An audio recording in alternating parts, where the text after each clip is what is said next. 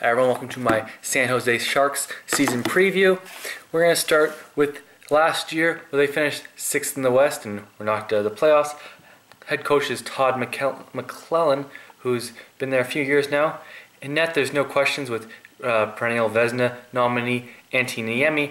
However, then you move forward and you have to think the skaters on this roster, the window for this team to win was several years ago. Dan Boyle is up there in age, and really, you don't have a another great defenseman. You don't know what you're doing with Brent Burns. Are you playing him at right wing or in the defense? Uh, I do like Marc-Edouard Vlasic, but Brad Stuart and Scott Hannan are in their late 30s now, so how much can you depend on them? We move to the forwards where they've been so dependent on Thornton and Mar- Marleau that yes, they've developed their Logan Couture and Joe Pavelski, but you don't really have much outside of that. You never know what you're going to get from a Martin Havlat who can get who's very brittle.